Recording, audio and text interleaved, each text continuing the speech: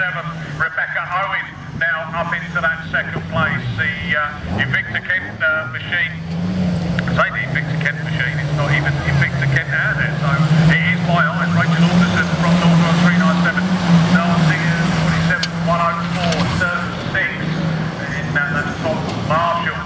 And uh, again, work to do from the back. But Rachel Alderson, Yorkshire 63, leading the way round there. Problem on board there, Northwell 397, Rebecca Owen just uh, went a little bit on the infield there, opened the door up, and that's allowed uh, she's dropped back down to place. And is that Nottingham 40 uh, five machine? So back to uh, Hargister. I've got it right. That's it, because the, the grandparents have been round to, to come and have a word and say, Mike, you, you're saying it wrong. So uh, hopefully I've got it right. I might get a thumbs up for that. As it is Rachel Alderson still leading the way.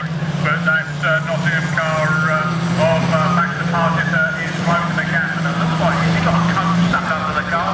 Or is that just a, a flat that's hanging down? It might be a down. But as I mentioned him, he's closed the gap on Rachel Alderson as they go up into that uh, turn three and Stargate turn for the penultimate time because it is the last lap flag. One lap to go on this one.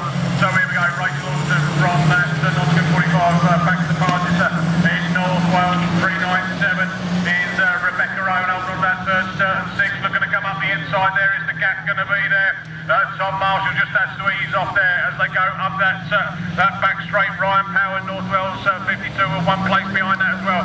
But here we go, and it is going to be checker flag, and it is the Nottingham 45 back to Parges. Yorkdale 63 uh, is uh, Rachel Alton, turn six, Northwell 3.